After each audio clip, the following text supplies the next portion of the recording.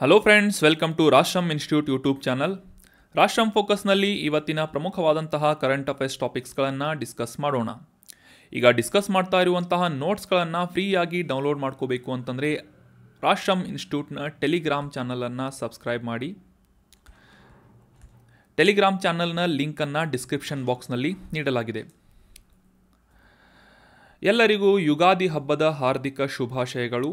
ಈ ಹೊಸ ವರ್ಷದಲ್ಲಿ ನಿಮ್ಮ ಎಲ್ಲ ಆಸೆ ಮತ್ತು ಆಕಾಂಕ್ಷೆಗಳು, ನಿಮ್ಮ ಪ್ರಯತ್ನಗಳು ಫಲಿಸಲಿ ಅಂತ ರಾಷ್ಟ್ರಮ್ ಇನ್ಸ್ಟಿಟ್ಯೂಟ್ನಿಂದ ನಾವು ಆಶಿಸ್ತೇವೆ. ಮಯೋನ್ ಅನ್ನುವ ಈ ಆಕ್ಟಿವ್ ವೋಲ್ಕ್ಯಾನೋ ಈ ಕೆಳಗಿನ ಯಾವ ರಾಷ್ಟ್ರದಲ್ಲಿದೆ ಅಂತ ಪ್ರಶ್ನೆಯನ್ನು ಕೇಳಲಾಗಿತ್ತು ಲಾಸ್ಟ್ ಸೆಷನ್ನಲ್ಲಿ. ಆಪ್ಷನ್ಸ್ಗಳಲ್ಲಿ ಜಪಾನ್, ಇಂಡೋನೇಷ್ಯಾ, ಹವಾಯಿ ಅಥವಾ ಫಿಲಿಪೈನ್ಸ್ ಅಂತ ನೀಡಲಾಗಿತ್ತು. ಸೊ, ಸರಿಯಾದ ಉತ್ತರ ಏನು ಅಂತಂದರೆ, ಆಪ್ಷನ್ ನಾಲ್ಕು.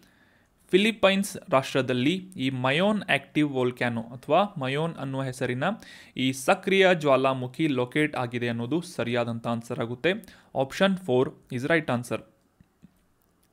ಈ ಫಿಲಿಪೈನ್ಸ್ ದೇಶದ ಆಗ್ನೇಯ ಭಾಗದಲ್ಲಿರುವಂತಹ ಲುಜಾನ್ ಅನ್ನುವ ಸ್ಥಳದಲ್ಲಿ ಈ ಸಕ್ರಿಯ ಜ್ವಾಲಾಮುಖಿ ಲೊಕೇಟ್ ಆಗಿದೆ ಅಂತ ನಾವು ಅಂಡರ್ಸ್ಟ್ಯಾಂಡ್ ಮಾಡ್ಕೋಬೇಕು.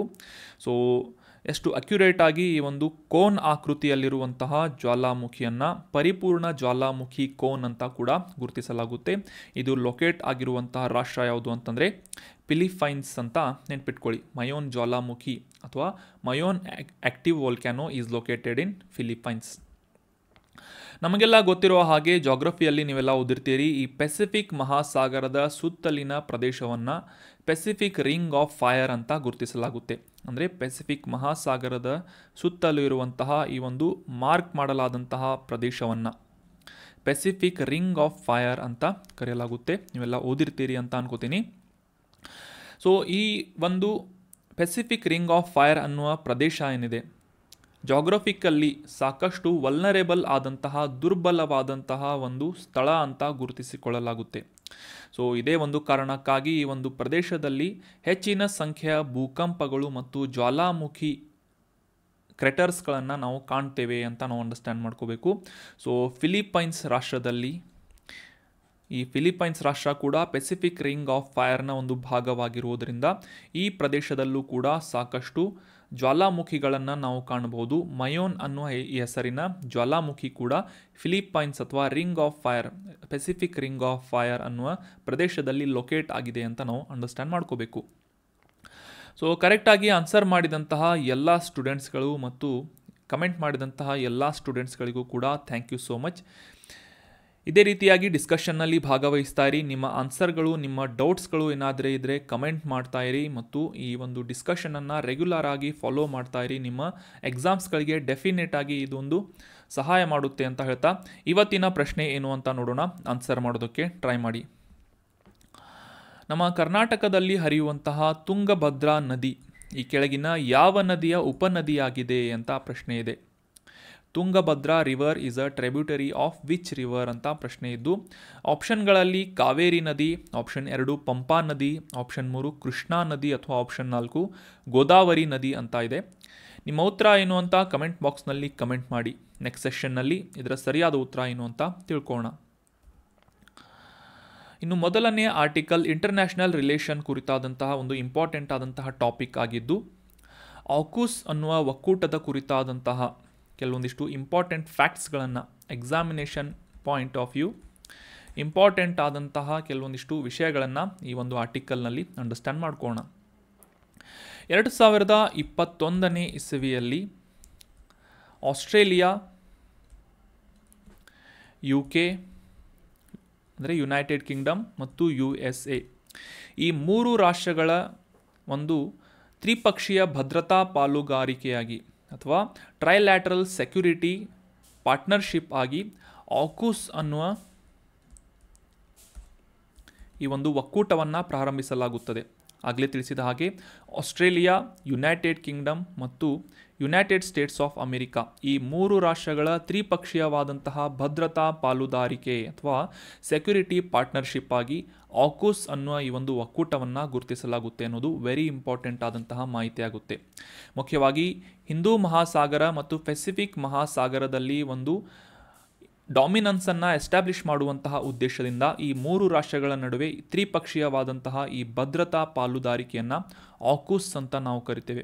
ಹೆಸರಿನಲ್ಲೇ ಸೂಚಿಸುವ ಹಾಗೆ A for Australia U K for United Kingdom, U S for United States ಅಂತ ಈ ಮೂರು ರಾಷ್ಟ್ರಗಳ ಒಂದು ಒಕ್ಕೂಟ ಅಂತ ನಾವು ಗುರುತಿಸ್ಬೋದು. ತ್ರಿಪಕ್ಷೀಯವಾದಂತಹ ಭದ್ರತಾ ಪಾಲುದಾರಿಕೆ ಅನ್ನೋದನ್ನು ನೋಟ್ ಮಾಡಿ ಇಟ್ಕೊಳ್ಳಿ. ಈ ಸೆಕ್ಯುರಿಟಿಗೆ ಸಂಬಂಧಪಟ್ಟಂತಹ ರಿಲೇಷನ್ಶಿಪ್ಪನ್ನು ಅಗ್ರಿಮೆಂಟ್ಸ್ಗಳು ಅಷ್ಟೇ ಅಲ್ಲದೆ ಕೂಡ ಈ ಆಸ್ಟ್ರೇಲಿಯಾ ರಾಷ್ಟ್ರಕ್ಕೆ ಯುನೈಟೆಡ್ ಸ್ಟೇಟ್ಸ್ ಆಫ್ ಅಮೇರಿಕಾದಲ್ಲಿರುವಂತಹ, ಅಂದರೆ ಅಮೇರಿಕಾದಲ್ಲಿರುವಂತಹ ಈ ಪರಮಾಣು ಜಲಾಂತರ್ಗಾಮಿಗಳು, ಅಥವಾ ಈ ನ್ಯೂಕ್ಲಿಯರ್ ಸಬ್ಮರಿನ್ ಟೆಕ್ನಾಲಜಿಯನ್ನು ಟ್ರಾನ್ಸ್ಫರ್ ಮಾಡುವಂತಹ ಉದ್ದೇಶವನ್ನು ಕೂಡ ಈ ಆಕೂಸ್ ಅನ್ನುವ ಒಕ್ಕೂಟ ಅಥವಾ ಈ ಒಂದು ಪಾರ್ಟ್ನರ್ಶಿಪ್ ಹೊಂದಿದೆ ಅನ್ನೋದು ಕೂಡ ಇಂಪಾರ್ಟೆಂಟ್ ಆದಂತಹ ಮಾಹಿತಿ. ಯುನೈಟೆಡ್ ಸ್ಟೇಟ್ಸ್ ಆಫ್ ಅಮೇರಿಕಾದಲ್ಲಿರುವಂತಹ ಈ ಪರಮಾಣು ಜಲಾಂತರ್ಗಾಮಿ ತಂತ್ರಜ್ಞಾನವನ್ನು ಆಸ್ಟ್ರೇಲಿಯಾ ರಾಷ್ಟ್ರಕ್ಕೆ ಶೇರ್ ಮಾಡಿಕೊಳ್ಳುವಂತಹ ಒಂದು ಪ್ರಮುಖ ಅಂಶ, ಅಂಶವನ್ನು ಕೂಡ ಈ ಆಕೂಸ್ ಒಕ್ಕೂಟದಲ್ಲಿ ನಾವು ಕಾಣ್ಬೋದಾಗಿದೆ. ಸೊ ಡೈರೆಕ್ಟಾಗಿ ಇದನ್ನು ಈ ಒಂದು ಸ್ಟೇಟ್ಮೆಂಟನ್ನು ಶೇರ್ ಮಾಡದೇ ಇದ್ದರೂ ಕೂಡ ಈ ಇಂಡೋ ಪೆಸಿಫಿಕ್ ರೀಜನ್ನಲ್ಲಿ ಅಥವಾ ಈ ಹಿಂದೂ ಮಹಾಸಾಗರ ಮತ್ತು ಪೆಸಿಫಿಕ್ ಮಹಾಸಾಗರದ ಇಂಡೋ ಪೆಸಿಫಿಕ್ ಪರ್ಸ್ಪೆಕ್ಟಿವ್ನಲ್ಲಿ ಚೀನಾ ದೇಶ, ಈ ಚೀನಾ ದೇಶದ ಒಂದು ಕಡಲ ಭಾಗದ ಡಾಮಿನನ್ಸನ್ನು ಕೌಂಟರ್ ಮಾಡುವಂತಹ ಉದ್ದೇಶದಿಂದ, ಅಂದರೆ ಆಕ್ರಮಣಕಾರಿಯಾದಂತಹ ಚೀನಾದ ನೀತಿಗಳನ್ನು ಈ ಹಿಂದೂ ಮಹಾಸಾಗರ ಮತ್ತು ಪೆಸಿಫಿಕ್ ಮಹಾಸಾಗರದ ಒಂದು ಪ್ರದೇಶದಲ್ಲಿ ಕೌಂಟರ್ ಮಾಡುವಂತಹ ಒಂದು ಉದ್ದೇಶವನ್ನು ಈ ಟ್ರೈಲ್ಯಾಟ್ರಲ್ ರಿಲೇಷನ್ಶಿಪ್ ಹೊಂದಿದೆ ಅಂತ ನಾವು ಅಂಡರ್ಸ್ಟ್ಯಾಂಡ್ ಮಾಡ್ಕೋಬೇಕು. ಈ ಮೂರು ರಾಷ್ಟ್ರಗಳ ಒಂದು ಒಕ್ಕೂಟವನ್ನು ಆಕಸ್ ಅಂತ ಕರೆಯಲಾಗುತ್ತೆ. ಇದೇ ರೀತಿಯಾಗಿ Indo Pacific ರೀಜನ್ನಲ್ಲಿ Australia U S A Japan ಮತ್ತು ಭಾರತ. ಈ ನಾಲ್ಕು ರಾಷ್ಟ್ರಗಳ ಒಂದು ಮರಿಟೈಮ್ ಸೆಕ್ಯುರಿಟಿ ಡೈಲಾಗ್ ಅಥವಾ ಕ್ವಾಡ್ರಿಲ್ಯಾಟ್ರಲ್ ಡೈಲಾಗನ್ನು ಕಾಡ್ ಅಂತ ಕೂಡ ನಾವು ಗುರುತಿಸ್ತೇವೆ. ಕಾಡ್ರಿಲ್ಯಾಟ್ರಲ್ ಡೈಲಾಗ್ ಅಂತ. ಈ ಇಂಡೋ ಪೆಸಿಫಿಕ್ ರೀಜನ್ನಲ್ಲಿ ಹಿಂದೂ ಮಹಾಸಾಗರ ಮತ್ತು ಪೆಸಿಫಿಕ್ ಮಹಾಸಾಗರದ ನಡುವೆ ಈ ಚೀನಾದ ಡಾಮಿನನ್ಸನ್ನು ಅಥವಾ ಅದರ ಒಂದು ಆಕ್ರಮಣಕಾರಿ ನೀತಿಗಳನ್ನು ಕೌಂಟರ್ ಮಾಡುವಂತಹ ಉದ್ದೇಶದಿಂದ ಈ ನಾಲ್ಕು ರಾಷ್ಟ್ರಗಳ ಒಂದು ಒಕ್ಕೂಟವನ್ನು ಅಥವಾ ಈ ಮರಿಟೈಮ್ ಸೆಕ್ಯುರಿಟಿ ಡೈಲಾಗನ್ನು ಕ್ವಾಡ್ರಿಲ್ಯಾಟ್ರಲ್ ಡೈಗ್ರಾ ಡೈಲಾಗ್ ಅಂತ ಕೂಡ ನಾವು ಗುರುತಿಸ್ತೇವೆ. ಇದರ ಬಗ್ಗೆ ನಾವು ಸಾಕಷ್ಟು ಬಾರಿ ನ್ಯೂಸ್ನಲ್ಲಿ ಕೂಡ ಓದಿದ್ದೇವೆ. Australia U S A Japan ಮತ್ತು ಇಂಡಿಯಾ. ಈ ನಾಲ್ಕು ರಾಷ್ಟ್ರಗಳ ಒಕ್ಕೂಟವನ್ನು ಕ್ವಾಡ್ರಿಲ್ಯಾಟ್ರಲ್ ಡೈಲಾಗ್ ಅಥವಾ ಕ್ವಾಡ್ ರಾಷ್ಟ್ರಗಳು ಅಂತ ಗುರುತಿಸ್ತೇವೆ. ಸೊ ಅದೇ ರೀತಿಯಾಗಿ ಈ ಆಸ್ಟ್ರೇಲಿಯಾ ಯುನೈಟೆಡ್ ಕಿಂಗ್ಡಮ್ ಮತ್ತು ಯುನೈಟೆಡ್ ಸ್ಟೇಟ್ಸ್ ಈ ಮೂರು ರಾಷ್ಟ್ರಗಳ ತ್ರಿಪಕ್ಷೀಯವಾದಂತಹ ಒಂದು ಸೆಕ್ಯುರಿಟಿ ರಿಲೇಷನ್ಶಿಪ್ಪನ್ನು ಅಥವಾ ಒಂದು ಪಾರ್ಟ್ನರ್ಶಿಪ್ಪನ್ನು ಆಕೂಸ್ ಅಂತ ಗುರುತಿಸ್ತೇವೆ ಅಂತ ಇದನ್ನು ಕಂಪ್ಯಾರಿಸನ್ ಮೂಲಕ ನಾವು ಅಂಡರ್ಸ್ಟ್ಯಾಂಡ್ ಮಾಡ್ಕೋಬೇಕು. ಸೊ ಇವುಗಳ ನಡುವಿನ ಡಿಫ್ರೆನ್ಸನ್ನು ಕೂಡ ಕ್ಲಿಯರಾಗಿ ಅಂಡರ್ಸ್ಟ್ಯಾಂಡ್ ಮಾಡ್ಕೊಳ್ಳಿ. ಆಕೂಸ್ ಹೆಸರಿನಲ್ಲೇ ಸೂಚಿ, ಸೂಚಿಸುವ ಹಾಗೆ ಆಸ್ಟ್ರೇಲಿಯಾ ಯು ಕೆ ಮತ್ತು ಯು ಎಸ್ ಈ ಮೂರು ರಾಷ್ಟ್ರಗಳ ಒಕ್ಕೂಟ. ಮತ್ತು ಈ ಕ್ವಾಡ್ರಿಲ್ಯಾಟಲ್ ಕ್ವಾಡ್ ರಾಷ್ಟ್ರಗಳು ಯಾವುವು ಅಂತಂದರೆ U S A Australia Japan ಮತ್ತು ಇಂಡಿಯಾ ಈ ಆಕೂಸ್ನಲ್ಲಿ ಜಪಾನ್ ಮತ್ತು ಇಂಡಿಯಾ ದೇಶಗಳನ್ನು ಒಳಗೊಂಡಿಲ್ಲ ಅಂತ ನಾವು ಅಂಡರ್ಸ್ಟ್ಯಾಂಡ್ ಮಾಡ್ಕೋಬೇಕು. ಆದರೆ ಇದರಲ್ಲಿ ಯುನೈಟೆಡ್ ಕಿಂಗ್ಡಮ್ ಕೂಡ ಇನ್ಕ್ಲೂಡ್ ಆಗಿದೆ ಆಕೂಸ್ ಡೈಲಾಗ್ನಲ್ಲಿ ಅಂತ ನಾವು ಗುರುತಿಸಬೇಕು. ಸೊ ಈ ಹಿಂದೂ ಮಹಾಸಾಗರ ಮತ್ತು ಪೆಸಿಫಿಕ್ ಮಹಾಸಾಗರದಲ್ಲಿ ಯುನೈಟೆಡ್ ಕಿಂಗ್ಡಮ್ ಯಾವುದೇ ರೀತಿಯಾದಂತಹ ಒಂದು ಕಡಲ ಗಡಿಗಳನ್ನು ಹಂಚಿಕೊಳ್ಳದೆ ಹೋದರೂ ಕೂಡ ಈ ಇಂಡೋ ಪೆಸಿಫಿಕ್ ಪರ್ಸ್ಪೆಕ್ಟಿವ್ನಿಂದ ಈ ಒಂದು ಪ್ರದೇಶದಲ್ಲಿ ಈ ಆಕುಸ್ ಅನ್ನುವ ಈ ಒಕ್ಕೂಟದಲ್ಲಿ ಯು ಕೆ ಅನ್ನು ಯುನೈಟೆಡ್ ಕಿಂಗ್ಡಮನ್ನು ಇನ್ಕ್ಲೂಡ್ ಮಾಡಲಾಗಿದೆ. ಸೊ ಇತ್ತೀಚೆಗೆ ಬಂದಂತಹ ಒಂದು ನ್ಯೂಸ್ ಪಬ್ಲಿಷ್ ಏನಾಗಿತ್ತು ಅಂತಂದರೆ, ಈ ಆಕುಸ್ ಅನ್ನುವ ಟ್ರೈಲ್ಯಾಟ್ರಲ್ ಸೆಕ್ಯುರಿಟಿ ಡೈಲಾಗ್ನಲ್ಲಿ ಅಥವಾ ಈ ಟ್ರೈಲ್ಯಾಟ್ರಲ್ ಸೆಕ್ಯುರಿಟಿ ರಿಲೇಷನ್ಶಿಪ್ನಲ್ಲಿ ಇನ್ನೂ ಹೆಚ್ಚಿನ ಸದಸ್ಯರನ್ನು ಸೇರಿಸಿಕೊಳ್ಬೇಕು ಅಂತ ಇತ್ತೀಚಿನ ಒಂದು ಕಾಂಟೆಕ್ಸ್ಟನ್ನು ಪಬ್ಲಿಷ್ ಮಾಡಲಾಗಿತ್ತು. ಯುನೈಟೆಡ್ ಸ್ಟೇಟ್ಸ್ ಬ್ರಿಟನ್ ಮತ್ತು ಆಸ್ಟ್ರೇಲಿಯಾರಗಳು ಈ ಆಕುಸ್ ಭದ್ರತಾ ಒಪ್ಪಂದಕ್ಕೆ ಇನ್ನೂ ಹೆಚ್ಚಿನ ಹೊಸ ಸದಸ್ಯರನ್ನು ಇನ್ಕ್ಲೂಡ್ ಮಾಡಿಕೊಳ್ಳುವಂತಹ ನಿಟ್ಟಿನಲ್ಲಿ ಮಾತುಕತೆಗಳನ್ನು ಪ್ರಾರಂಭಿಸಿವೆ ಅಂತ ಇತ್ತೀಚೆಗೆ ಕಾಂಟೆಕ್ಸ್ಟನ್ನು ನ್ಯೂಸ್ನಲ್ಲಿ ಪಬ್ಲಿಷ್ ಮಾಡಲಾಗಿತ್ತು. ಸೊ, ಇದೇ ಒಂದು ಕಾರಣಕ್ಕಾಗಿ ನಾವು ಈ ಆಕುಸ್ ಅಂದರೆ ಏನು ಮತ್ತು ಇದರ ಕೆಲವೊಂದಿಷ್ಟು ವಿಶೇಷವಾದಂತಹ ಮಾಹಿತಿಗಳು ಏನು ಅಂತ ಅಂಡರ್ಸ್ಟ್ಯಾಂಡ್ ಮಾಡ್ಕೊಂಡ್ವಿ. ಆಗಲೇ ತಿಳಿಸಿದ ಹಾಗೆ ಈ ಯುನೈಟೆಡ್ ಸ್ಟೇಟ್ಸ್ನ ಬಳಿ ಇರುವಂತಹ ಜಲಾಂತರ್ಗಾಮಿ ನ್ಯೂಕ್ಲಿಯರ್ ಜಲಾಂತರ್ಗಾಮಿ ತಂತ್ರಜ್ಞಾನವನ್ನು ಆಸ್ಟ್ರೇಲಿಯಾ ದೇಶದೊಂದಿಗೆ ಶೇರ್ ಮಾಡಿಕೊಳ್ಳುವಂತಹ ಒಂದು ಪ್ರಮುಖವಾದಂತಹ ಅಂಶವನ್ನು ಆಕುಸ್ ಒಳಗೊಂಡಿದೆ ಅಂತ. ಸೊ ಅಷ್ಟೇ ಅಲ್ಲದೆ ಈ ಎಮರ್ಜಿಂಗ್ ಟೆಕ್ನಾಲಜೀಸ್ಗಳಾದಂತಹ ಉದಯೋನ್ಮುಖ ತಂತ್ರಜ್ಞಾನಗಳಾದಂತಹ ಅಪ್ಲೈಡ್ ಆರ್ಟಿಫಿಷಿಯಲ್ ಇಂಟೆಲಿಜೆನ್ಸ್ ಅಥವಾ ಅನ್ವಯಿಕ ಕೃತಕ ಬುದ್ಧಿಮತ್ತೆ ತಂತ್ರಜ್ಞಾನ ಆಗಿರ್ಬೋದು ಕ್ವಾಂಟಮ್ ಟೆಕ್ನಾಲಜಿ ಆಗಿರ್ಬೋದು, ಅಥವಾ ಈ ಸಾಗರದೊಳಗಿನ ಸಾಮರ್ಥ್ಯಗಳನ್ನು ಇಂಪ್ರೂವ್ ಮಾಡುವಂತಹ ನಿಟ್ಟಿನಲ್ಲಿ ಮರಿಟೈಮ್ ಕೆಪಾಸಿಟಿಯನ್ನು ಬಿಲ್ಡ್ ಮಾಡುವಂತಹ ನಿಟ್ಟಿನಲ್ಲಿ ಸಾಕಷ್ಟು ಇಂಪಾರ್ಟೆಂಟ್ ಆದಂತಹ ಟೆಕ್ನಾಲಜಿ ಟ್ರಾನ್ಸ್ಫರ್ಸ್ ಅನ್ನುವ ಒಂದು ಕೆಲವೊಂದಿಷ್ಟು ಅಂಶಗಳನ್ನು ಈ ಆಕುಸ್ ಅನ್ನುವ ಒಕ್ಕೂಟ ಒಳಗೊಂಡಿದೆ ಅಂತ ನಾವು ಅಂಡರ್ಸ್ಟ್ಯಾಂಡ್ ಮಾಡ್ಕೋಬೇಕು. So that was what brief information of AUKUS ಇದರಲ್ಲಿ ಆಸ್ಟ್ರೇಲಿಯಾ ಯು ಕೆ ಮತ್ತು ಯು ಎಸ್ ರಾಷ್ಟ್ರಗಳು ಈ ಒಂದು ಒಕ್ಕೂಟದ ಭಾಗವಾಗಿವೆ ಸದಸ್ಯ ರಾಷ್ಟ್ರಗಳಾಗಿವೆ ಅಂತ ನಾವು ಅಂಡರ್ಸ್ಟ್ಯಾಂಡ್ ಮಾಡ್ಕೊಂಡ್ವಿ. ಇನ್ನು ಮುಂದಿನ ಆರ್ಟಿಕಲ್ ಜಾಗ್ರಫಿ ಅಥವಾ ಮ್ಯಾಪಿಂಗ್ ರಿಲೇಟ್ ಆದಂತಹ ಒಂದು ಇಂಪಾರ್ಟೆಂಟ್ ಆದಂತಹ ಆರ್ಟಿಕಲ್ ಆಗಿದೆ. ಉರಲ್ ಅನ್ನುವ ಹೆಸರಿನ ನದಿ ಇತ್ತೀಚೆಗೆ ನ್ಯೂಸ್ನಲ್ಲಿ ಪಬ್ಲಿಷ್ ಆಗಿತ್ತು. ಇದನ್ನು ಕೂಡ ಇಂಟರ್ನ್ಯಾಷನಲ್ ರಿಲೇಷನ್ಗೆ ಸಂಬಂಧಪಟ್ಟಂತೆ ಈ ಒಂದು ಟಾಪಿಕನ್ನು ನೀವು ರಿಲೇಟ್ ಮಾಡ್ಕೋಬಹುದಾಗಿದೆ. ಉರಲ್ ಅನ್ನುವ ಈ ರಷ್ಯಾ ರಾಷ್ಟ್ರದಲ್ಲಿ ಹುಟ್ಟಿ ಹರಿಯುವಂತಹ ನದಿ ಇತ್ತೀಚೆಗೆ ಯಾಕೆ ನ್ಯೂಸ್ನಲ್ಲಿತ್ತು ಅಂತ ಅಂಡರ್ಸ್ಟ್ಯಾಂಡ್ ಮಾಡ್ಕೊಳ್ಳೋದಾದರೆ ರಷ್ಯಾದ ಈ ಆರೆನ್ಬರ್ಗ್ ಅನ್ನುವ ಪ್ರದೇಶದಲ್ಲಿ ಇತ್ತೀಚೆಗೆ ಫೆಡರಲ್ ಎಮರ್ಜೆನ್ಸಿಯನ್ನು ಘೋಷಣೆ ಮಾಡಲಾಗಿದೆ. ತುರ್ತು ಪರಿಸ್ಥಿತಿಯನ್ನು ಘೋಷಣೆ ಮಾಡಲಾಗಿದೆ ಅಂತ ನ್ಯೂಸ್ನಲ್ಲಿ ಪಬ್ಲಿಷ್ ಆಗಿತ್ತು. ಸೊ, ಯಾವ ಒಂದು ಕಾರಣಕ್ಕಾಗಿ ಈ ಫೆಡರಲ್ ಎಮರ್ಜೆನ್ಸಿಯನ್ನು ರಷ್ಯಾದಿಂದ ಘೋಷಣೆ ಮಾಡಲಾಗಿದೆ ಅಂತಂದರೆ, ಈ ರಷ್ಯಾದಲ್ಲಿ ಹರಿಯುವಂತಹ ಉರಲ್ ಅನ್ನುವ ನದಿ, ಇದರ ನೀರಿನ ಪ್ರಮಾಣ ಹೆಚ್ಚಾಗಿ ಓಕ್ಸ್ ಅನ್ನುವ ಸ್ಥಳದಲ್ಲಿ ಪ್ರವಾಹ ಉಂಟಾಗಿದ್ದ ಕಾರಣಕ್ಕಾಗಿ ಈ ಸಾವಿರಾರು ಜನರನ್ನು ಆ ಒಂದು ಸ್ಥಳದಿಂದ ಸ್ಥಳ ಡಿಸ್ಪ್ಲೇಸ್ ಮಾಡಲಾಗಿದೆ ಅಥವಾ ಆ ಒಂದು ಜನರನ್ನು ಆ ಪ್ರದೇಶದಿಂದ ಸ್ಥಳಾಂತರಿಸಲಾಗಿದೆ. ಸೊ ಇದೇ ಒಂದು ಕಾರಣಕ್ಕಾಗಿ ಅಲ್ಲಿನ ಈ ಒಂದು ಡಿಸಾಸ್ಟರ್ ಮ್ಯಾನೇಜ್ಮೆಂಟ್ ಉದ್ದೇಶದಿಂದ ಫೆಡರಲ್ ಎಮರ್ಜೆನ್ಸಿಯನ್ನು ಈ ಒರೆನ್ಬರ್ಗ್ ಅನ್ನುವ ಪ್ರದೇಶದಲ್ಲಿ ಘೋಷಣೆ ಮಾಡಲಾಗಿದೆ ಅಂತ ಈ ಉರಲ್ಸ್ ನದಿ ಏನಿದೆ ನ್ಯೂಸ್ನಲ್ಲಿ ಪಬ್ಲಿಷ್ ಆಗಿತ್ತು. ಸೊ ಅರಲ್ ಸಿ ಅಂತ ನಾವು ರೀಸೆಂಟಾಗಿ ಡಿಸ್ಕಸ್ ಮಾಡಿದ್ವಿ. ಅದರ ಒಂದು ರಿಲೇಟ್ ಆದಂತಹ ಆರ್ಟಿಕಲ್ ಆಗಿಲ್ಲ ಇದು. ಅರಲ್ ಸಿ ಬೇರೆ ಉರಲ್ ನದಿ ಬೇರೆ. ಉರಲ್ ನದಿ ಇದು ರಷ್ಯಾದಲ್ಲಿ ಹುಟ್ಟಿ ಕಜಕಿಸ್ತಾನದ ಮೂಲಕ ಹರಿಯುವಂತಹ ಒಂದು ನದಿಯಾಗಿದೆ. ಕನ್ಫ್ಯೂಸ್ ಮಾಡ್ಕೋಬೇಡಿ. ಅರಲ್ ಸಮುದ್ರ ಬೇರೆ. ಸೊ ಈ ಉರಲ್ ನದಿಯ ಬಗ್ಗೆ ತಿಳ್ಕೊಳ್ಳೋದಾದರೆ ರಷ್ಯಾದ ಈ ಉರಲ್ ಅನ್ನುವ ಪರ್ವತ ಶ್ರೇಣಿ. ಯುರೋಪ್ ಮತ್ತು ಏಷ್ಯಾವನ್ನು ವಿಭಾಗಿಸುವಂತಹ, ವಿಭಜಿಸುವಂತಹ ಸಪ್ರೇಟ್ ಮಾಡುವಂತಹ ಒಂದು ಪರ್ವತ ಶ್ರೇಣಿ, ಉರಲ್ ಪರ್ವತ ಶ್ರೇಣಿ ಅಂತ ನಾವೆಲ್ಲ ಜಾಗ್ರಫಿಯಲ್ಲಿ ಓದಿರ್ತೇವೆ. ಈ ಒಂದು ಮ್ಯಾಪ್ನಲ್ಲಿ ಕೂಡ ನೋಡ್ಬೋದು. ಈ ಉರಲ್ ಮೌಂಟನ್ಸ್ ಅಂತ. ಸೊ ಇದೇ ಒಂದು ಉರಲ್ ಮೌಂಟನ್ಸ್ನಲ್ಲಿ ರಷ್ಯಾದ ಈ ಮೌಂಟ್ ಕ್ರುಗ್ಲಾಯ್ ಅನ್ನುವ ಸ್ಥಳಕ್ಕೆ ಸಮೀಪದ ಒಂದು ಪ್ರದೇಶದಲ್ಲಿ ಈ ಉರಲ್ ಅನ್ನುವ ಹೆಸರಿನ ನದಿ ಹುಟ್ಟುತ್ತದೆ ಅಂತ ನಾವು ಅಂಡರ್ಸ್ಟ್ಯಾಂಡ್ ಮಾಡ್ಕೋಬೇಕು. ಮುಂದೆ ಈ ಉರಲ್ ನದಿ ಏನಿದೆ? ಸುಮಾರು ಎರಡು ಸಾವಿರದ ನಾಲ್ಕುನೂರ ಇಪ್ಪತ್ತೆಂಟು ಕಿಲೋಮೀಟರ್ ಉದ್ದದ ಒಂದು ಡಿಸ್ಟನ್ಸನ್ನು ಕ್ರಮಿಸುವುದರ ಮೂಲಕ ರಷ್ಯಾ ಮತ್ತು ಕಜಕಿಸ್ತಾನ್ ರಾಷ್ಟ್ರಗಳ ಮೂಲಕ ಹರಿದು ಮುಂದೆ ಈ ವಿಶ್ವದ ಅತಿ ದೊಡ್ಡ ಒಳನಾಡಿನ ಸಮುದ್ರ ಅಂತ ಕರೆಸಿಕೊಳ್ಳುವಂತಹ ಈ ಮ್ಯಾಪ್ನಲ್ಲಿ ಗಮನಿಸಿ ಕ್ಯಾಸ್ಪಿಯನ್ ಸಮುದ್ರವನ್ನು ಸೇರುವಂತಹ ಒಂದು ಪ್ರಮುಖ ನದಿಯಾಗಿದೆ ಅಂತ ನಾವು ಗುರುತಿಸಬೇಕು. ಉರಲ್ ಅನ್ನುವ ನದಿ ಬಗ್ಗೆ. ಇಲ್ಲಿ ಇಮೇಜ್ನಲ್ಲಿ ಕ್ಲಿಯರ್ ಆಗಿ ನೋಡ್ಕೊಳ್ಳಿ. ಉರಲ್ ಮೌಂಟನ್ ರೇಂಜಸ್ನಲ್ಲಿ ಹುಟ್ಟಿ ಮುಂದೆ ಈ ರಷ್ಯಾದ ಮೂಲಕ ಮತ್ತು ಕಜಕಿಸ್ತಾನವನ್ನು ಕ್ರಾಸ್ ಮಾಡುವುದರ ಮೂಲಕ ಈ ಕ್ಯಾಸ್ಪಿಯನ್ ಸಮುದ್ರದ ಭಾಗವನ್ನು ಅಥವಾ ಕ್ಯಾಸ್ಪಿಯನ್ ಸಮುದ್ರವನ್ನು ಸೇರಿಕೊಳ್ಳುವಂತಹ ಒಂದು ಪ್ರಮುಖವಾದಂತಹ ನದಿ ಉರ ಉರಲ್ ನದಿ ಆಗಿದೆ ಅಂತ ನಾವು ಗುರುತಿಸ್ಬೋದು ಕಜಕಿಸ್ತಾನದಲ್ಲಿ ಹರಿಯುವುದು ಹರಿಯುವ ಕಾರಣಕ್ಕಾಗಿ ಕಜಕ್ ಅನ್ನುವ ಭಾಷೆಯಲ್ಲಿ ಇದನ್ನು ಜೈಕ್ ಅನ್ನುವ ಹೆಸರಿನ ನದಿಯನ್ನಾಗಿ ಕೂಡ ಹೆಸರಿಸಲಾಗುತ್ತೆ. ಈ ಉರಲ್ ನದಿಯನ್ನು ಅಂತ ನಾವು ಅಂಡರ್ಸ್ಟ್ಯಾಂಡ್ ಮಾಡ್ಕೋಬೇಕು. ಸುಮಾರು ಎರಡು ಸಾವಿರದ ನಾಲ್ಕುನೂರ ಇಪ್ಪತ್ತೆಂಟು ಕಿಲೋಮೀಟರ್ ದೂರವನ್ನು ಕ್ರಮಿಸುವಂತಹ ಈ ಉರಲ್ ನದಿ ಯುರೋಪಿನ ಅತಿ ಉದ್ದದ ನದಿಯಾಗಿ ಗುರುತಿಸಿಕೊಳ್ಳುತ್ತದೆ. ಅಂದರೆ ಯುರೋಪಿನ ಮೂರನೇ ಅತಿ ಉದ್ದದ ನದಿಯಾಗಿ ಗುರುತಿಸಿಕೊಳ್ಳುತ್ತೆ. ಮೊದಲ ಎರಡು ಅತಿ ಉದ್ದದ ನದಿಗಳು ಯಾವುವು ಅಂತಂದರೆ ಯುರೋಪಿನು ಒಲ್ಗಾ ನದಿ ಮತ್ತು ಡಾನ್ಯೂಬ್ ನದಿಗಳ ನಂತರ ಮೂರನೇ ಅತಿ ಉದ್ದದ ಯುರೋಪಿನ ನದಿಯಾಗಿ ಉರಲ್ ನದಿ ಗುರುತಿಸಿಕೊಳ್ಳುತ್ತೆ. ಇದು ಮುಂದೆ ಕ್ಯಾಸ್ಪಿಯನ್ ಸಮುದ್ರವನ್ನು ಸೇರಿಕೊಳ್ಳುತ್ತೆ ಅಂತ ನಾವು ಅಂಡರ್ಸ್ಟ್ಯಾಂಡ್ ಮಾಡ್ಕೋಬೇಕು. ಸೊ ಅಷ್ಟೇ ಅಲ್ಲದೆ ಈ ಏಷ್ಯಾದ ಹತ್ತೊಂಬತ್ತನೇ ಅತಿ ಉದ್ದದ ನದಿಯಾಗಿ ಕೂಡ ಈ ಉರ, ಉರಲ್ ನದಿಯನ್ನು ಗುರುತಿಸಲಾಗುತ್ತೆ. ಎಕ್ಸ್ಕ್ಯೂಸ್ ಮೀ ಇಲ್ಲಿ ಗಮನಿಸಬೇಕಾದಂತಹ ಒಂದು ಇಂಪಾರ್ಟೆಂಟ್ ಆದಂತಹ ಮಾಹಿತಿ ಏನು ಅಂತಂದರೆ, ಸಾಮಾನ್ಯವಾಗಿ ಈ ಮಳೆಯಿಂದ ಪಡೆದಂತಹ ನೀರನ್ನು, ನೀರಿನ ಪ್ರಮಾಣದಿಂದ ಈ ನದಿಗಳು ಹರಿಯುತ್ತವೆ. ಆದರೆ ಈ ಉರಲ್ ನದಿಯ ಶೇಕಡ ಅರವತ್ತರಿಂದ ಎಪ್ಪತ್ತು ಪರ್ಸೆಂಟ್ನಷ್ಟು ನೀರೇನಿದೆ. ಹಿಮ ಕರಗುವುದರ ಮೂಲಕ ಆ ಒಂದು ನದಿ ಆ ಒಂದು ನದಿ ಏನಿದೆ, ಈ ಒಂದು ನೀರನ್ನು ಪಡೆದುಕೊಳ್ಳುತ್ತೆ.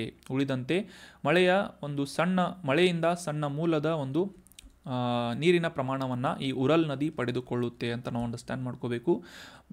ಒಂದು ಮುಖ್ಯವಾಗಿ ಈ ಹಿಮ ನದಿಗಳು ಅಥವಾ ಈ ಗ್ಲೇಷಿಯರ್ಸ್ಗಳು ಕರಗುವುದರ ಮೂಲಕ ಈ ಉರಲ್ ನದಿ ಹೆಚ್ಚಿನ ಪ್ರಮಾಣದ ನೀರನ್ನು ಪಡೆದುಕೊಳ್ಳುತ್ತೆ ಅನ್ನೋದು ಕೂಡ ಇಂಪಾರ್ಟೆಂಟ್ ಆದಂತಹ ಮಾಹಿತಿ ಆಗುತ್ತೆ. ಈ ಉರಲ್ ನದಿ ಮುಂದೆ ಹೋಗಿ ಕ್ಯಾಸ್ಪಿಯನ್ ಸಮುದ್ರವನ್ನು ಸೇರುವಂತಹ ಸ್ಥಳದಲ್ಲಿ ಈ ಡಿಜಿಟೇಟ್ ಡೆಲ್ಟಾ ಅನ್ನುವ ಈ ಡೆಲ್ಟಾ ಆಕೃತಿಯ ಮರದ ಬೇರಿನಂತೆ ಕಾಣುವಂತಹ ಡೆಲ್ಟಾ ಆಕೃತಿಯ ಒಂದು ಡೆಲ್ಟಾವನ್ನು ಸೃಷ್ಟಿಸುತ್ತದೆ ಅಂತ ನಾವು ಅಂಡರ್ಸ್ಟ್ಯಾಂಡ್ ಮಾಡ್ಕೊಂಡ್ವಿ. ಇದು ಕಜಕಿಸ್ತಾನ್, ಇದು ಮೇಲೆ ರಷ್ಯಾ. ಈ ಎರಡು ರಾಷ್ಟ್ರಗಳನ್ನು, ರಾಷ್ಟ್ರಗಳ ಮೂಲಕ ಸುಮಾರು ಎರಡು ಎರಡು ಸಾವಿರದ ನಾಲ್ಕುನೂರು ಕಿಲೋಮೀಟರ್ಗೂ ಹೆಚ್ಚಿನ ದೂರವನ್ನು ಕ್ರಮಿಸಿ ಮುಂದೆ ಕ್ಯಾಸ್ಪಿಯನ್ ಸಮುದ್ರವನ್ನು ಸೇರಿಕೊಳ್ಳುವಂತಹ ಒಂದು ನದಿ ಡೆಲ್ಟಾವನ್ನು ಸೃಷ್ಟಿಸುತ್ತದೆ. ಡಿಜಿಟೇಟ್ ಡೆಲ್ಟಾ ಅಂತ ಇದನ್ನು ಕರೆಯಬಹುದಾಗಿದೆ. ಇನ್ನು ಅದೇ ರೀತಿಯಾಗಿ ಉರಲ್ ನದಿ ಸಾಕಷ್ಟು ಪ್ರಮಾಣದ ಸುಮಾರು ಐವತ್ತೆಂಟು ಉಪನದಿಗಳನ್ನು ಹೊಂದಿದ್ದು, ಅದರಲ್ಲಿ ಮುಖ್ಯವಾದಂತಹ ಉಪನದಿಗಳು, ಟ್ರೆಬ್ಯೂಟರೀಸ್ಗಳು ಯಾವುವು ಅಂತಂದರೆ ಕುಶುಮ್, ಡೆರ್ಕುಲ್, ಚಗನ್, ಇರ್ಟೇಕ್, ಉತ್ವಾಲ್, ಎಲೇಕ್ ಬೋಲ್ಶಿಯಾ ಚೋಬ್ಡಾ, ಕಿಂಡೆಲ್, ಸಕ್ಮಾರಾ ಟನಾಲಿಕ್, ಸಲ್ಮೀಸ್, ಓರ್ ಮತ್ತು ಸುಂಡುಕ್ ಅನ್ನುವ ಪ್ರಮುಖವಾದಂತಹ ನದಿಗಳನ್ನು ಉಪನದಿಗಳಾಗಿ ಉರಲ್ ನದಿ ಹೊಂದಿದೆ ಅಂತ ನಾವು ಗುರುತಿಸಬೇಕು. ಸೊ ಈ ಉಪನದಿಗಳು ಎಕ್ಸಾಮಿನೇಷನ್ ಪಾಯಿಂಟ್ ಆಫ್ ವ್ಯೂ ಅಷ್ಟೊಂದು ಇಂಪಾರ್ಟೆಂಟ್ ಆಗದೆ ಹೋದರೂ ಕೂಡ ಉರಲ್ ನದಿ ಎಲ್ಲಿ ಹುಟ್ಟುತ್ತದೆ ಮತ್ತು ಯಾವ ರಾಷ್ಟ್ರಗಳ ನಡುವೆ, ಯಾವ ರಾಷ್ಟ್ರಗಳ ಮೂಲಕ ಹರಿಯುತ್ತದೆ ಮತ್ತು ಯಾವ ಒಂದು ಈ ವಾಟರ್ ಬಾಡಿ ಅಥವಾ ಜಲ ಮೂಲವನ್ನು ಸೇರಿಕೊಳ್ಳುತ್ತದೆ ಅಂತಿಮವಾಗಿ ಅಂತ ಅನ್ನೋದು ಇಂಪಾರ್ಟೆಂಟ್ ಆದಂತಹ ಮಾಹಿತಿಯನ್ನು ಹೊಂದಿವೆ ಅಂತ ನಾವು ಅಂಡರ್ಸ್ಟ್ಯಾಂಡ್ ಮಾಡ್ಕೋಬೇಕು. ಆಗಲೇ ತಿಳಿಸಿದ ಹಾಗೆ ಉರಲ್ ಪರ್ವತ ಶ್ರೇಣಿಯಲ್ಲಿ ಮೌಂಟ್ ಕ್ರುಗ್ಲಾಯ್ ಅನ್ನುವ ಸ್ಥಳದಲ್ಲಿ ಹುಟ್ಟಿ ಉರಲ್ ನದಿ ಏನಿದೆ ರಷ್ಯಾ ಮತ್ತು ಕಜಕಿಸ್ತಾನ್ ರಾಷ್ಟ್ರಗಳ ಮೂಲಕ ಹರಿಯುವುದರ ಮೂಲಕ ಕ್ಯಾಸ್ಪಿಯನ್ ಸಮುದ್ರವನ್ನು ಸುಮಾರು ಎರಡು ಸಾವಿರದ ನಾಲ್ಕುನೂರ ಇಪ್ಪತ್ತೆಂಟು ಕಿಲೋಮೀಟರ್ಗಳ ಕ್ರಮ ಕ್ರಮಣ ಮಾಡುವುದರ ಮೂಲಕ ಈ ಉರಲ್ ನದಿ ಕ್ಯಾಸ್ಪಿಯನ್ ಸಮುದ್ರವನ್ನು ಸೇರಿಕೊಳ್ಳುತ್ತೆ ಅಂತ ನಾವು ಅಂಡರ್ಸ್ಟ್ಯಾಂಡ್ ಮಾಡ್ಕೊಂಡ್ವಿ. ಇನ್ನು ಮುಂದಿನ ಆರ್ಟಿಕಲ್ ಇತ್ತೀಚೆಗೆ ನ್ಯೂಸ್ ಪೇಪರ್ನಲ್ಲಿ ಸುವಿಧಾ ಅನ್ನುವ ಪೋರ್ಟಲ್ ಸಾಕಷ್ಟು ಬಾರಿ ನ್ಯೂಸ್ನಲ್ಲಿ ಬರ್ತಾ ಇದೆ.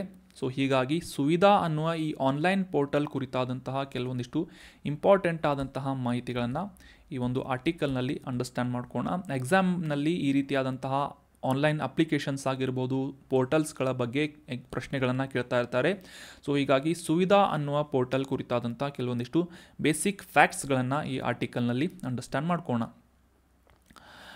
ಈ ಎಲೆಕ್ಷನ್ ಕಮಿಷನ್ ಆಫ್ ಇಂಡಿಯಾ ಭಾರತದ ಚುನಾವಣಾ ಆಯೋಗದ ಮೂಲಕ ಈ ಚುನಾವಣೆ ನಡೀತಾ ಇರುವಂತಹ ಸಂದರ್ಭದಲ್ಲಿ ಯಾವುದೇ ಪಕ್ಷಗಳು ಅಥವಾ ಅಭ್ಯರ್ಥಿಗಳು ತಾವು ನಡೆಸುವಂತಹ ಪ್ರಮುಖವಾದಂತಹ ಚಟುವಟಿಕೆಗಳನ್ನು ನಡೆಸುವಂತಹ ಒಂದು ಪರ್ಮಿಷನನ್ನು ಎಲೆಕ್ಷನ್ ಕಮಿಷನ್ ಆಫ್ ಇಂಡಿಯಾದಿಂದ ಪಡೆದುಕೊಳ್ಬೇಕಾಗುತ್ತೆ. ಸೊ ಈ ಪರ್ಮಿಷನ್ಸ್ಗಳನ್ನು ಅಥವಾ ಅನುಮತಿಗಳನ್ನು, ಸೌಲಭ್ಯಗಳನ್ನು ಪಡೆದುಕೊಳ್ಳುವಂತಹ ನಿಟ್ಟಿನಲ್ಲಿ ಈ ಸುವಿಧಾ ಅನ್ನುವ ಆನ್ಲೈನ್ ಪೋರ್ಟಲ್ ಮೂಲಕ ತಮ್ಮ ಅರ್ಜಿಗಳನ್ನು ಸಲ್ಲಿಸಬೇಕಾಗುತ್ತದೆ. ಸೊ ಈ ಒಂದು ಸುವಿಧಾ ಪೋರ್ಟಲ್ನಲ್ಲಿ ಇತ್ತೀಚೆಗೆ ಸುಮಾರು ಏ ಎಪ್ಪತ್ತ್ಮೂರು ಸಾವಿರ ಅರ್ಜಿಗಳು ದಾಖಲಾಗಿವೆ ಅಂತ ಚುನಾವಣಾ ಆಯೋಗದಿಂದ ಮಾಹಿತಿಯನ್ನು ಪಬ್ಲಿಷ್ ಮಾಡಲಾಗಿದೆ ಅಂತ ನಾವು ಅಂಡರ್ಸ್ಟ್ಯಾಂಡ್ ಮಾಡ್ಕೋಬೇಕಾಗುತ್ತೆ. ಮುಖ್ಯವಾಗಿ ಭಾರತದಾದ್ಯಂತ ನಡೆಯುವಂತಹ ಈ ಚುನಾವಣೆಗಳು ನ್ಯಾಯಸಮ್ಮತವಾಗಿ ಮತ್ತು ಪಾರದರ್ಶಕ ರೀತಿಯಲ್ಲಿ ನಡೆಸುವಂತಹ ಉದ್ದೇಶದಿಂದ ಮತ್ತು ಚುನಾವಣೆಗಳ ಈ ಪ್ರಜಾಸತ್ತಾತ್ಮಕ ತತ್ವಗಳನ್ನು ಎತ್ತಿ ಹಿಡಿಯುವಂತಹ ನಿಟ್ಟಿನಲ್ಲಿ ಈ ಪಾಲಿಟಿಕಲ್ ಪಾರ್ಟೀಸ್ಗಳು ಮತ್ತು ಅಭ್ಯರ್ಥಿಗಳು ಹೆಚ್ಚು ಹೆಚ್ಚು ಅಕೌಂಟಬಿಲಿಟಿಯನ್ನು ಹೊಂದುವಂತಹ ನಿಟ್ಟಿನಲ್ಲಿ ಈ ಸುವಿಧಾ ಪೋರ್ಟಲ್ ಸಾಕಷ್ಟು ಅನುಕೂಲವನ್ನು ಮಾಡಿಕೊಡ್ತಾ ಇದೆ. ಈ ಚುನಾವಣಾ ಸಂದರ್ಭದಲ್ಲಿ ನಡೆಸಲಾಗುವಂತಹ ಪ್ರಮುಖ ಚಟುವಟಿಕೆಗಳಾದಂತಹ ಈ ರ್ಯಾಲಿಗಳಾಗಿರ್ಬೋದು, ಮೋರ್ಚಾಗಳಾಗಿರ್ಬೋದು ಅಥವಾ ಕ್ಯಾನ್ವಾಸ್ ಮಾಡುವುದಾಗಿರ್ಬೋದು, ತಮ್ಮ ಪಾರ್ಟಿಯ ಕೆಲವೊಂದಿಷ್ಟು ಟೆಂಪರರಿ ಕಚೇರಿಗಳನ್ನು ಅಥವಾ ಟೆಂಪರರಿ ಆಫೀಸಸ್ಗಳನ್ನು ಸ್ಥಾಪನೆ ಮಾಡುವುದಾಗಿರ್ಬೋದು, ವಿಡಿಯೋ ವ್ಯಾನ್ಸ್ಗಳು ಮತ್ತು ಅಭ್ಯರ್ಥಿಗಳು ಬಳಸಲು ಅಂತಹ ಹೆಲಿಕಾಪ್ಟರ್ಗಳು, ವಾಹನ ಪರವಾನಗಿಗಳು ಮತ್ತು ಪ್ಯಾಂಪ್ಲೆಟ್ಸ್ಗಳನ್ನು ಹಂಚುವುದಾಗಿರ್ಬೋದು, ಈ ರೀತಿಯಾದಂತಹ ಚುನಾವಣೆಗೆ ಸಂಬಂಧಪಟ್ಟಂತಹ ಆ್ಯಕ್ಟಿವಿಟೀಸ್ಗಳನ್ನು ಅಭ್ಯರ್ಥಿಗಳು ಅಥವಾ ಪಾರ್ಟೀಸ್ಗಳು ನಡೆಸಬೇಕು ಅಂತಂದರೆ ಈ ಸುವಿಧಾ ಅನ್ನುವ ಪೋರ್ಟಲ್ ಮುಲ್ ಮುಖಾಂತರ ಆನ್ಲೈನ್ನಲ್ಲಿ ರಿಜಿಸ್ಟರ್ ಮಾಡಿಕೊಳ್ಬೇಕಾಗುತ್ತೆ. ಇದರ ಮೂಲಕ ಚುನಾವಣಾ ಆಯೋಗಕ್ಕೆ ಈ ಒಂದು ಮಾಹಿತಿಯನ್ನು ಶೇರ್ ಮಾಡಿಕೊಂಡು ಪರ್ಮಿಷನನ್ನು ಪಡೆದುಕೊಂಡು ಈ ರೀತಿಯಾದಂತಹ ಚಟುವಟಿಕೆಗಳನ್ನು ನಡೆಸುವುದಕ್ಕೆ ಎಲೆಕ್ಷನ್ ಕಮಿಷನ್ ಆಫ್ ಇಂಡಿಯಾದಿಂದ ಪರ್ಮಿಷನನ್ನು ಅನುಮತಿಯನ್ನು ನೀಡಲಾಗುತ್ತೆ ಅಂತ ನಾವು ಅಂಡರ್ಸ್ಟ್ಯಾಂಡ್ ಮಾಡ್ಕೋಬೇಕು. ಅಷ್ಟೇ ಅಲ್ಲದೆ ಆಫ್ಲೈನ್ನಲ್ಲೂ ಕೂಡ ಈ ಒಂದು ಅರ್ಜಿಗಳನ್ನು ಸಲ್ಲಿಸಬಹುದಾಗಿದೆ ಅಂತ ಚುನಾವಣಾ ಆಯೋಗದಿಂದ ಮಾಹಿತಿಯನ್ನು ಶೇರ್ ಮಾಡಲಾಗಿದೆ. ಅದೇ ರೀತಿಯಾಗಿ ಈ ಪರ್ಮಿಷನನ್ನು ಪಡೆದುಕೊಳ್ಳುವಂತಹ ನಿಟ್ಟಿನಲ್ಲಿ ಏನು ಅರ್ಜಿಗಳನ್ನು ಸಲ್ಲಿಸಲಾಗುತ್ತೆ. ಆ ಮೂಲಕ ಸಾಕಷ್ಟು ಪ್ರಮಾಣದ ಡೇಟಾವನ್ನು ಕೂಡ ಕಲೆಕ್ಟ್ ಮಾಡಲಾಗುತ್ತೆ. ಮುಖ್ಯವಾಗಿ ಚುನಾವಣಾ ಅಭ್ಯರ್ಥಿಗಳು ಮತ್ತು ಈ ಪಾಲಿಟಿಕಲ್ ಪಾರ್ಟೀಸ್ಗಳು ಚುನಾವಣೆಗೆ ಸಂಬಂಧಪಟ್ಟಂತೆ ಎಷ್ಟು ವೆಚ್ಚಗಳನ್ನು ಮಾಡಿದರು ಮತ್ತು ಈ ರೀತಿಯಾದಂತಹ ಪ್ರಮುಖವಾದಂತಹ ಸೂಕ್ಷ್ಮವಾದಂತಹ ಅಂಶಗಳನ್ನು ಪರಿಶೀಲನೆ ಮಾಡುವಂತಹ ನಿಟ್ಟಿನಲ್ಲಿ ಮತ್ತು ಈ ಪಾಲಿಟಿಕಲ್ ಪಾರ್ಟೀಸ್ಗಳು ಮತ್ತು ಅಭ್ಯರ್ಥಿಗಳನ್ನು ಹೆಚ್ಚಿನ ಹೊಣೆಗಾರಿಕೆಯನ್ನು ಹೊಂದು, ಹೊಂದುವಂತಹ ನಿಟ್ಟಿನಲ್ಲಿ ಸಮಗ್ರತೆಯನ್ನು ಕಾಪಾಡಿಕೊಳ್ಳುವಂತಹ ನಿಟ್ಟಿನಲ್ಲಿ, ಅಂದರೆ ಅಕೌಂಟಬಿಲಿಟಿಯನ್ನು ಇನ್ಕ್ರೀಸ್ ಮಾಡುವುದು ಮತ್ತು ಇಂಟಿಗ್ರಿಟಿಯನ್ನು ಇನ್ಕ್ರೀಸ್ ಮಾಡುವಂತಹ ನಿಟ್ಟಿನಲ್ಲಿ ಪ್ರಮುಖವಾದಂತಹ ಡೇಟಾವನ್ನು ಕಲೆಕ್ಟ್ ಮಾಡಲಾಗುತ್ತೆ ಅಂತ ನಾವು ಈ ಸುವಿಧಾ ಪೋರ್ಟಲ್ ಬಗ್ಗೆ ಈಸಿಯಾಗಿ ಅಂಡರ್ಸ್ಟ್ಯಾಂಡ್ ಮಾಡ್ಕೋಬೇಕು. ಎಲೆಕ್ಷನ್ ಕಮಿಷನ್ ಆಫ್ ಇಂಡಿಯಾ, ಭಾರತದ ಚುನಾವಣಾ ಆಯೋಗದ ಮೂಲಕ ಈ ಸುವಿಧಾ ಅನ್ನುವ ಪೋರ್ಟಲನ್ನು ಪ್ರಾರಂಭಿಸಲಾಗಿದೆ ಅಂತ ನಾವು ಅಂಡರ್ಸ್ಟ್ಯಾಂಡ್ ಮಾಡ್ಕೋಬೋದು. ಇದರ ಉದ್ದೇಶ ಏನು ಅಂತ ಕೂಡ ಕ್ಲಿಯರಾಗಿ ಅಂಡರ್ಸ್ಟ್ಯಾಂಡ್ ಮಾಡ್ಕೊಂಡ್ವಿ. ಇನ್ನು ಮುಂದಿನ ಆರ್ಟಿಕಲ್ ಹಿಸ್ಟ್ರಿ ರಿಲೇಟ್ ಆದಂತಹ ಇತಿಹಾಸಕ್ಕೆ ಸಂಬಂಧಪಟ್ಟಂತಹ ಒಂದು ಪ್ರಮುಖ ಮಾಹಿತಿಯಾಗಿದ್ದು, ಪ್ರತಿ ವರ್ಷ ಏಪ್ರಿಲ್ ಎಂಟನೇ ತಾರೀಕಿನಂದು ಮಂಗಲ್ ಪಾಂಡೆ ಅವರ ಪುಣ್ಯತಿಥಿಯನ್ನು ಆಚರಿಸಲಾಗುತ್ತೆ.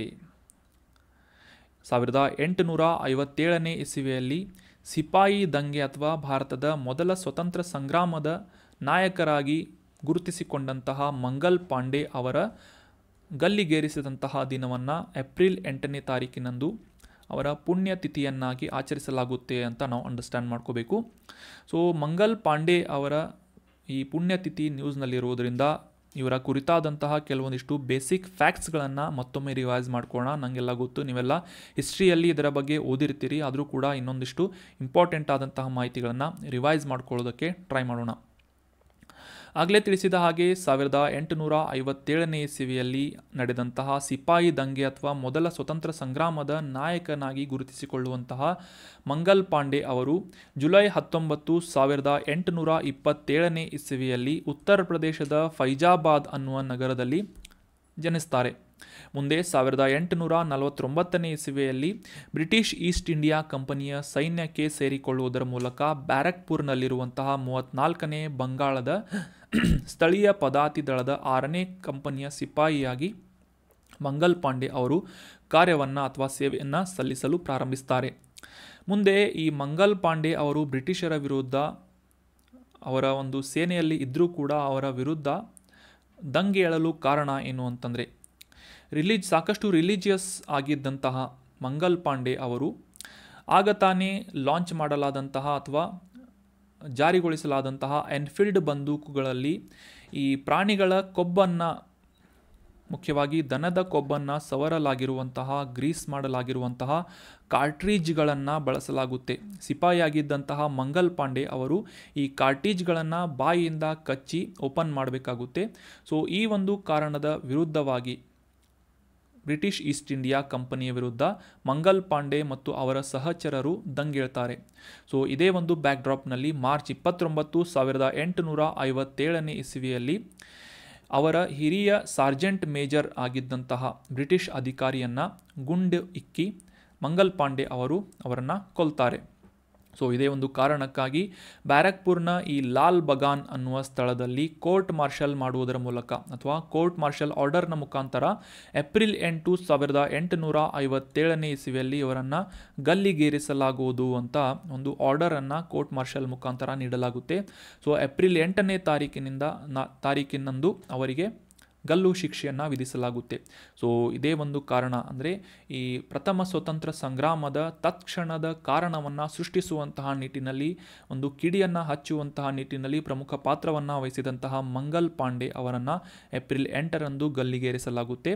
ಸೊ ಅದಾದ ಅದಾದ ನಂತರ ಈ ಬೆಹರಾಂಪುರ್ನಲ್ಲಿರುವಂತಹ ಹತ್ತೊಂಬತ್ತನೇ ಪದಾತಿ ದಳದಲ್ಲಿರುವಂತಹ ಅವರ ಸಹಚರರು ಇದ್ದಂತಹ ಈ ಒಂದು ರೆಜಿಮೆಂಟನ್ನು ಸಂಪೂರ್ಣವಾಗಿ ಡಿಸ್ಬ್ಯಾಂಡ್ ಮಾಡಲಾಗುತ್ತೆ ಅಥವಾ ವಿಸರ್ಜನೆ ಮಾಡಲಾಗುತ್ತೆ ಅಂತ ನಾವು ಹಿಸ್ಟ್ರಿಯಲ್ಲಿ ಸಾಕಷ್ಟು ಬಾರಿ ಓದಿದ್ದೇವೆ. ಸೊ ಅದೇ ಒಂದು ಮಾಹಿತಿಯನ್ನು ಈಗ ಮತ್ತೊಮ್ಮೆ ರಿವೈಸ್ ಮಾಡ್ಕೊಂಡ್ವಿ.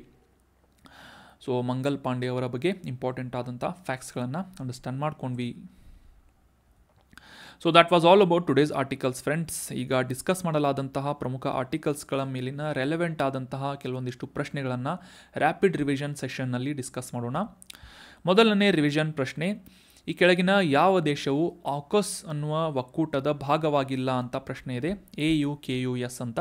ಆಪ್ಷನ್ ಒಂದು, ಯುನೈಟೆಡ್ ಕಿಂಗ್ಡಮ್. ಆಪ್ಷನ್ ಎರಡು, ಅಮೆರಿಕಾ. ಆಪ್ಷನ್ ಮೂರು, ಭಾರತ ಅಥವಾ ಆಪ್ಷನ್ ನಾಲ್ಕು, ಆಸ್ಟ್ರೇಲಿಯಾ ಅಂತ ನೀಡಲಾಗಿದ್ದು ಸರಿಯಾದ ಉತ್ತರ ಏನು ಅಂತಂದರೆ, ಈ ಆಕುಸ್ ಅನ್ನೋದು ಆಸ್ಟ್ರೇಲಿಯಾ, ಯು, ಕೆ ಮತ್ತು ಯು, ಎಸ್ ಈ ಮೂರು ರಾಷ್ಟ್ರಗಳ ಟ್ರೈಲ್ಯಾಟ್ರಲ್ ಸೆಕ್ಯುರಿಟಿ ಪಾರ್ಟ್ನರ್ಶಿಪ್ ಅಂತ ನಾವು ಗುರುತಿಸಿದ್ವಿ. ಇದರಲ್ಲಿ ಯುನೈಟೆಡ್ ಕಿಂಗ್ಡಮ್, ಅಮೆರಿಕ ಮತ್ತು ಆಸ್ಟ್ರೇಲಿಯಾ ರಾಷ್ಟ್ರಗಳನ್ನು ಒಳಗೊಂಡ, ಒಳಗೊಳ್ಳಲಾಗಿದೆ. ಭಾರತ ಯಾವುದೇ ರೀತಿಯಾಗಿ ಈ ಒಂದು ಒಕ್ಕೂಟದ ಭಾಗವಾಗಿಲ್ಲ ಅಂತ ನಾವು ಅಂಡರ್ಸ್ಟ್ಯಾಂಡ್ ಮಾಡ್ಕೋಬೇಕು. So, option three is right answer. ಆಗಲೇ ತಿಳಿಸಿದ ಹಾಗೆ ಈ ಸಾಕಷ್ಟು ವಿಷಯಗಳನ್ನು ಒಳಗೊಂಡಿರುವಂಥ ಅದರಲ್ಲೂ ಮುಖ್ಯವಾಗಿ ಇಂಡೋ ಪೆಸಿಫಿಕ್ ಪರ್ಸ್ಪೆಕ್ಟಿವ್ನಲ್ಲಿ ಈ ಚೀನಾದ ಡಾಮಿನನ್ಸನ್ನು ಕೌಂಟರ್ ಮಾಡುವಂಥ ಉದ್ದೇಶದಿಂದ ಮತ್ತು ಸಾಕಷ್ಟು ಟೆಕ್ನಾಲಜಿ ಟ್ರಾನ್ಸ್ಫರ್ಗೆ ಸಂಬಂಧಪಟ್ಟಂತಹ ಅಂಶಗಳನ್ನು ಒಳಗೊಂಡಿರುವಂತಹ ಒಂದು ಟ್ರೈಲ್ಯಾಟ್ರಲ್ ರಿಲೇಶ್ ರಿಲೇಷನ್ಶಿಪ್ ಯಾವುದು ಅಂತಂದರೆ ಆಸ್ಟ್ರೇಲಿಯಾ ಯು ಕೆ ಮತ್ತು ಯು ಎಸ್ ಎ ಈ ಮೂರು ರಾಷ್ಟ್ರಗಳ ಒಂದು ಟ್ರೈಲ್ಯಾಟ್ರಲ್ ಡೈಲಾಗ್ ಪಾರ್ಟ್ನರ್ಶಿಪ್ ಯಾವುದು ಅಂತಂದರೆ ಆಕುಸ್ ಅಂತ ನಾವು ಗುರುತಿಸಿದ್ರಿ. A for Australia U K for United Kingdom U S for United States ಅಂತ ಈ ಮೂರು ರಾಷ್ಟ್ರಗಳ ಒಕ್ಕೂಟ. ಇದರ ಭಾಗವಾಗಿ ಇನ್ನೂ ಹೆಚ್ಚಿನ ಸದಸ್ಯರನ್ನು ಇನ್ಕ್ಲೂಡ್ ಮಾಡುವಂತಹ ನಿಟ್ಟಿನಲ್ಲಿ ಚರ್ಚೆಗಳು ನಡೀತಾ ಇವೆ ಅಂತ ನ್ಯೂಸ್ನಲ್ಲಿ ಪಬ್ಲಿಷ್ ಆಗಿತ್ತು. So that is the reason we have discussed about AUKUS ಮುಂದಿನ ರಿವಿಷನ್ ಪ್ರಶ್ನೆ, ಈ ಉರಲ್ ನದಿಯು ಈ ಕೆಳಗಿನ ಯಾವ ದೇಶದ ಮೂಲಕ ಹರಿಯುತ್ತದೆ ಅಂತ ಪ್ರಶ್ನೆ ಇದೆ. ಆಪ್ಷನ್ ಒಂದು ಚೀನಾ ಆಪ್ಷನ್ ಎರಡು ಟರ್ಕಿ ಆಪ್ಷನ್ ಮೂರು ರಷ್ಯಾ ಅಥವಾ ಆಪ್ಷನ್ ನಾಲ್ಕು ಅಜರ್ ಬೈಜಾನ್ ಅಂತ ನೀಡಲಾಗಿದ್ದು, ಸರಿಯಾದ ಉತ್ತರ ಏನು ಅಂತಂದರೆ ಆಪ್ಷನ್ ಮೂರು.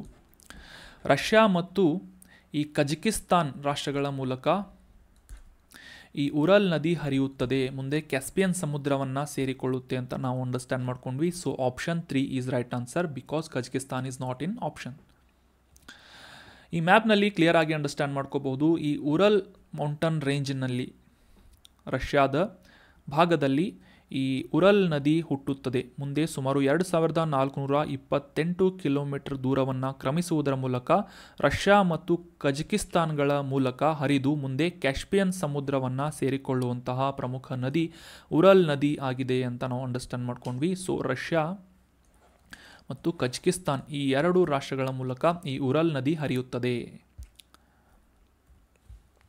ಮುಂದಿನ ರಿವಿಷನ್ ಪ್ರಶ್ನೆ ಈ ಎಲೆಕ್ಷನ್ ಕಮಿಷನ್ ಆಫ್ ಇಂಡಿಯಾದಿಂದ ಈ ಚುನಾವಣೆಗೆ ಸಂಬಂಧಪಟ್ಟಂತಹ ಆ್ಯಕ್ಟಿವಿಟೀಸ್ಗಳನ್ನು ನಡೆಸುವುದಕ್ಕೆ ಅನುಮತಿಯನ್ನು ಪಡೆದುಕೊಳ್ಳುವಂತಹ ನಿಟ್ಟಿನಲ್ಲಿ ಈ ಚುನಾವಣಾ ಅಭ್ಯರ್ಥಿಗಳು ಮತ್ತು ರಾಜಕೀಯ ಪಕ್ಷಗಳು ಈ ಕೆಳಗಿನ ಯಾವ ಆನ್ಲೈನ್ ಪೋರ್ಟಲ್ ಮುಖಾಂತರ ಪರ್ಮಿಷನ್ಗಳನ್ನು ಪಡೆದುಕೊಳ್ಳಬಹುದು ಅಥವಾ ಎಲೆಕ್ಷನ್ ಕಮಿಷನ್ ಆಫ್ ಇಂಡಿಯಾ ಕಲೆ ಸಾರಿ ಎಲೆಕ್ಷನ್ ಕಮಿಷನ್ ಆಫ್ ಇಂಡಿಯಾದಿಂದ ಯಾವ ಒಂದು ಪೋರ್ಟಲನ್ನು ಅಭಿವೃದ್ಧಿಪಡಿಸಲಾಗಿದೆ ಅಂತ ಪ್ರಶ್ನೆ ಇದೆ. ಆಪ್ಷನ್ ಒಂದು ಸುಧಾರಣ್ ಆಪ್ಷನ್ ಎರಡು ಸರ್ವೇಕ್ಷಣ್ ಆಪ್ಷನ್ ಮೂರು ಸುವಿಧಾ ಆಪ್ಷನ್ ನಾಲ್ಕು ಸಾಧಾರಣ ಅಂತ ಇದೆ. ಸೊ ಸರಿಯಾದ ಉತ್ತರ ಏನು ಅಂತಂದರೆ ಆಪ್ಷನ್ ಮೂರು. ಸುವಿಧಾ ಅನ್ನುವ ಆನ್ಲೈನ್ ಪೋರ್ಟಲ್ ಮುಖಾಂತರ ರಿಜಿಸ್ಟ್ರೇಷನ್ ಮಾಡಿಕೊಳ್ಳುವುದರ ಮೂಲಕ ಚುನಾವಣೆಗೆ ಸಂಬಂಧಪಟ್ಟಂತಹ ಆ್ಯಕ್ಟಿವಿಟೀಸ್ಗಳನ್ನು ನಡೆಸುವಂತಹ ನಿಟ್ಟಿನಲ್ಲಿ ರಾಜಕೀಯ ಅಭ್ಯರ್ಥಿಗಳು ಮತ್ತು ಪಕ್ಷಗಳು ಅನುಮತಿಯನ್ನು ಎಲೆಕ್ಷನ್ ಕಮಿಷನ್ ಆಫ್ ಇಂಡಿಯಾದಿಂದ ಪಡೆದುಕೊಳ್ಳಬಹುದಾಗಿದೆ. ಈ ಒಂದು ಪೋರ್ಟಲನ್ನು ಎಲೆಕ್ಷನ್ ಕಮಿಷನ್ ಆಫ್ ಇಂಡಿಯಾ ಭಾರತೀಯ ಚುನಾವಣಾ ಆಯೋಗದ ಮೂಲಕ ಅಭಿವೃದ್ಧಿಪಡಿಸಲಾಗಿದೆ ಅಂತ ನಾವು ಅಂಡರ್ಸ್ಟ್ಯಾಂಡ್ ಮಾಡ್ಕೊಂಡ್ವಿ. So, option three is right answer. ಮುಂದಿನ ರಿವಿಷನ್ ಪ್ರಶ್ನೆ, ಸಾವಿರದ ಎಂಟುನೂರ ಐವತ್ತೇಳನೇ ಇಸ್ವಿಯಲ್ಲಿ ಸ್ವತಂತ್ರ ಹೋರಾಟಗಾರರಾದಂತಹ ಮಂಗಲ್ ಪಾಂಡೆ ಈ ಒಂದು ಸ್ವತಂತ್ರ ಹೋರಾಟದ ದಂಗೆಯನ್ನು ಪ್ರಾರಂಭಿಸಿದಂತಹ ಈ ಬ್ಯಾರಕ್ಪುರ್, ಈ ಕೆಳಗಿನ ಯಾವ ರಾಜ್ಯದಲ್ಲಿದೆ, ಸದ್ಯದಲ್ಲಿ ಅಂತ ಪ್ರಶ್ನೆ ಇದೆ. ಆಪ್ಷನ್ ಒಂದು ಬಿಹಾರ್ ಆಪ್ಷನ್ ಎರಡು ಪಶ್ಚಿಮ ಬಂಗಾಳ ಆಪ್ಷನ್ ಮೂರು ಮಹಾರಾಷ್ಟ್ರ ಅಥವಾ ಆಪ್ಷನ್ ನಾಲ್ಕು ಮಧ್ಯಪ್ರದೇಶ್ ಅಂತ ನೀಡಲಾಗಿದ್ದು ಸರಿಯಾದ ಉತ್ತರ ಏನು ಅಂತಂದರೆ ಆಪ್ಷನ್ ಎರಡು. ಪಶ್ಚಿಮ ಬಂಗಾಳದ ಟ್ವೆಂಟಿ ಫೋರ್ ಪರಗಣ ಅನ್ನುವ ಜಿಲ್ಲೆಯಲ್ಲಿ ಸ ಈ ಮಂಗಲ್ ಪಾಂಡೆ ಅವರು ಬ್ರಿಟಿಷರ ವಿರುದ್ಧ ದಂಗೆದ್ದಂತಹ ಮತ್ತು ಬ್ರಿಟಿಷ್ ಅಧಿಕಾರಿಯನ್ನು ಕೊಂದಂತಹ ಸ್ಥಳ ಬ್ಯಾರಕ್ಪುರ್ನ ಲೊಕೇಶನ್ ಆಗಿದೆ. Option two Paschim Bengal is right answer so that was all about today's discussion friends ಈ ಕಂಟೆಂಟನ್ನು ನಿಮ್ಮ ಎಲ್ಲ ಫ್ರೆಂಡ್ಸ್ಗಳ ಜೊತೆ ಶೇರ್ ಮಾಡಿ, ಎಲ್ಲ ಅಸ್ಪಿರೆಂಟ್ಸ್ಗಳ ಜೊತೆ ಶೇರ್ ಮಾಡಿ ಡಿಸ್ಕಷನ್ನಲ್ಲಿ ಕೇಳಲಾದಂಥ ಪ್ರಶ್ನೆಗೆ ಸರಿಯಾಗಿ ಕಮೆಂಟ್ ಮಾಡೋದಕ್ಕೆ ಟ್ರೈ ಮಾಡಿ. Thank you so much for joining the discussion have an awesome day